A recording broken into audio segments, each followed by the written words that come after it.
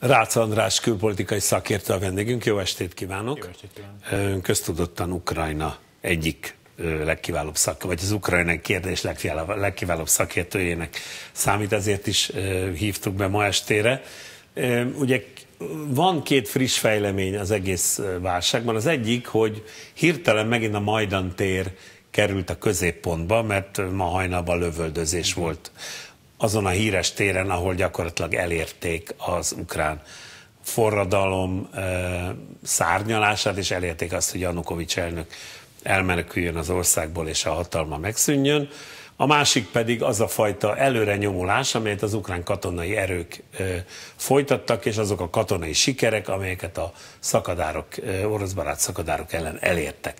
Most beszéljünk először a majdantéri lövöldözésről, mert ezt én nem nagyon értettem, hogy hosszú ideig tartó viszonylagos nyugalom után most mitől szakadt el a cérna a Majdan téren? Őszintén szóval én sem tudom. Tehát a, tehát a, híreket, tehát a, híreket, a híreket tudom olvasni. Ki? Valószínűleg ki fog ez majd derülni egy idő után, de ugye nem egészen 24 órá vagyunk az események után. Hírek vannak, plegykák vannak, de nyilván megalapozott vizsgálatot nem lehet lefolytatni. De Kievben azért ott van az EBSZ, ott van rengeteg nemzetközi szervezet. Ki fog ez derülni? Egyáltalán Kik vannak ott a Majdan téren? Nagyon érdekes dolog, mert a miután, hát nevezik forradalomnak, tehát miután lezajlik a forradalom, és ugye hatalomra kell az új ukrán kormány, a Majdan nagyon sokáig még ott sátortáborozik. És ugye május 25-én lemegy az elnökválasztás, ezt követően, és ugye Kievben főpolgármesternek is megválasztják ugye közben Klicskót, Klicskó pedig elkezd tárgyalni a Majdanosokkal, hogy talán le kéne vonulni onnan lassan, mert hát mégiscsak Kiev főutcát, a Recsetikot blokkolják, ez 4x4 sáv, amióta ott a sátortából Kievben éjszaka is dugó van. És most ilyen felemás állapot van, lebontották a sátrak egy jelentős részét, elkezdődött a közlekedés, de azért még a Majdánnak van egy ilyen kiöblösödő része, ott még azért vannak tüntetők. Sőt, azok, akik ott vannak, azok közötték, hogy ők nem bontják le a barikádokat, és szó nem lett arról, hogy ők igen, innen távozzanak. Igen, ők egy, ők egy politikailag nagyon nehezen kezelhető tényező, tulajdonképpen mégiscsak ők nyerték meg a forradalmat. Ugyanakkor egy, egy nagyon heterogén társaság és a Majdannak az igazi ütőereje, tehát akik tényleg helytálltak a ramrendőrökkel szemben, na ők tipikusan már a nemzeti gárda soraiban harcolnak valahol keleten. Uh-huh. Tehát azt, hogy most pontosan kikből áll a Majdan, erre nincsen igazán jó szociológiai felmérés, inkább a, a presztízs értéke jelentős, pont ezért nem, nem dimenzionálnám túl ezt a hajnali támadást sem. Még most, tehát Egyesek provokációnak is minősítették. Provokáció is lehet, de, de lehet egy, egy teljesen akár üzleti jellegű ügy is, ott a, működik ott egy, kaukázus, üzleti ügy? működik ott egy kaukázusi étterem. Tehát nem tudjuk. Tehát rengeteg plegyka és szóbeszéd van, valószínű, hogy politikai motiváció, de tényszerűen nem tudjuk. Tehát tehetnék úgy, mintha tudnám, nem tudom.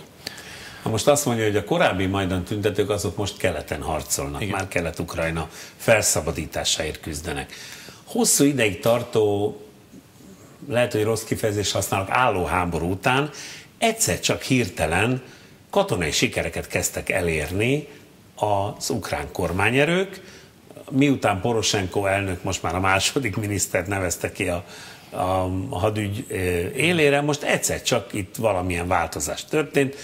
Úgy látszik számomra, mintha orosz oldalról feladták volna a szakadárok támogatását, hiszen Pontosan. különben nem Pontosan. történhetett volna meg ez az előre nyomulás, de ezt Putyin részéről én nem értem.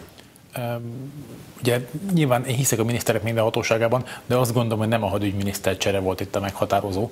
A fordulat egyébként egy kicsit fokozatosabban következett be. Először a május 1-től 4-ig ott is hosszú hétvége volt. Azon a hosszú hétvégén volt először, hogy az ukrán kormányerők elkezdtek komoly sikereket elérni.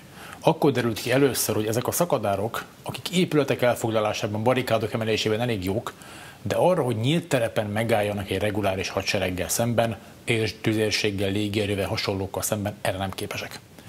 Pedig hát azért elég sok mindent zsákmányoltak. Elég sok minden Ezek a szakadárok harckocsit is, Igen. meg hát, váról indítható rakétákat, Igen, meg lelőttek helikoptereket. Bizony, de kiderült, hogy területet megtartani nem tudnak, Azután a hosszú hétvége után visszavonultak a városokba, hiszen ott ugye, ha az ukrán hadsereg komoly tűzérőt alkalmaz velük szemben, akkor annak óhatatlan polgári áldozatai vannak. Ugye ezt látjuk, Szlavianszkot lényegében porrá lőtték. De, és itt jön, a, itt jön a fordulat érdemi pontja, ez az egész szakadár mozgalom, ez addig tudott, vagy még tud működni, ameddig az orosz-ukrán határ nyitva van. Az ukrán állam ugyanis nem volt képes ellenőrizni ezt a határt, ellenőrizetlenül jött be Oroszországból. A fegyver, az ember, a lőszer, De miért nem a tudták díjanyag. ezt ellenőrizni? Mert, a Mert határ- most már tudják. Mert a határőrség a forradalom után lényegében felszívódott, kisebb részben átállt, kisebb részben egyszerűen hazament. Tehát több száz kilométerre lényegében nyitva volt a határ. Szóval Én XY határőr fogom magam, elegem van ebből a baléból, hazamegyek a családomhoz. határőr, nem akarom megöletni magam. A parancsnokaim egy része árul, a második részét nem érem el, a harmadik része pedig átállt, vagy részegen hever valahol. Tehát ilyen körülmények az ukrán határőrség egész alakulatai eltűntek. Nem volt határellenőrzés, Oroszországban mindenféle bejött, hát harckocsik jöttek be, orosz harckocsik. Mert a határon semmiféle ellenőrzés nem volt. És akkor most mitől lett határőrség? Az ukrán kormány felismerte, hogy le kell zárni a határt, és most arra úgy néz ki, hogy szinte teljesen sikerült visszaszerezni. Ők azt mondják, hogy teljesen, hát majd ezt meglátjuk. Minden esetre az látszik, hogy a beáramló hadianyag, emberutánportlás hasonló mennyis, eh, mennyisége radikálisan lecsökkent. A szagadárok de egyszer, az- az... elfogy a pénzparipa fegyver. Innentől Na de a hát dolgot, Putyinnál nem fogy el pénzparipa hogy fegyver. jutatja be? Tehát Hát mondjuk légi hidat létesít Moszkva és Donetsk ez között. nem, ez nem működik. Hát Donetskben a repülőtér még működik. Donetskben a repülőtér- Donetsk meg még mindig a szakadárok Donetskben- kezén Donetskben van. a szaka, pont a szakadárok lőtték porra a repülőteret, e, és ugye olyan helyzetben, amikor az ukrán légierő nem akar itt bejönni egy szállítógép, akkor a szállítógép nem fog bejönni. Tehát a légi híd az nem megoldás. Uh-huh. Az működhetett volna, hogy amíg sok száz kilométerre nyitva volt a határ, minden bejött, ki lehetett vinni a sebesülteket, ez ment. Az ukrán kormány elkezdte lezárni ezt a határt, innentől Oroszországnak két opciója van, nem értek egyet az idézett kommerszán cikkel, mert van ugye egyik opció, hogy a szakadárok lassacskán kivéreznek, másik opció, hogy elhúzódó pa- partizán háborúban véreznek ki. Elméletben van egy harmadik opció is. Ez egy nagy léptékű orosz katonai támadás, ami áttöri a határt, de hát ilyesmit nem lehet megcsinálni. És innentől Hát Oroszország mivel nézze, nem azért bocsánat, a Krím elfoglalása előtt is azt mondták, hát ilyesmit nem lehet megcsinálni, 21. akkor században. nem lehet, akkor meg lehetett, most már nem lehet. A Krím egy De nagyon mi a különbség a A Krím egy nagyon pillanat speciális között? pillanat volt. Amikor a Krím történt, akkor nem volt ukrán államiság, nem volt ukrán fegyveres erő, nem volt ukrán vezetés, és a krími ukrán katonák nem tudták, hogy velük mi legyen. Több hatezeren álltak át. Rengetegen egyszerűen lecserélték az egyenruhán a sapkarózsát. Tehát a Krím az egy egyszerű történelmi pillanat volt, az oroszok, most a morális részét tegyük félre, van egy külön szó, politechnológia. Tehát politikai, Aha. szakmai szempontból zseniálisan ismerték föl, hogy ezt meg lehet csinálni, készültek is rá, és a Krímben ennek volt érdemi tömegtámogatottsága. Kelet-Ukrajnában nincs. Egymilliós városokban néhány ezer ember tüntet. Ez nem tömegtámogatottság. Ez tehát a Luhansk, Luhanskban és Donetskben, amikor arról hallunk, vagy olvasunk, vagy látunk, hogy itt a lakosság több ezer tüntetéseken fejezi ki szimpátiáját a szakadár fegyveresek iránt, akkor ezt ne vegyük komolyan. Ez, ez, ez, ez nem érdemi tömegtámogatottság. Nem véletlen, hogy a népszavazás, idézőjeles népszavazás is egészen nevetséges eredménnyel 120 zárult. Természetes, persze. Tehát eh, a lakosság jelentős része passzív. Döntő része passzív. Eh, Elég, elég komoly felmérések voltak el az ukrán forradalom idején.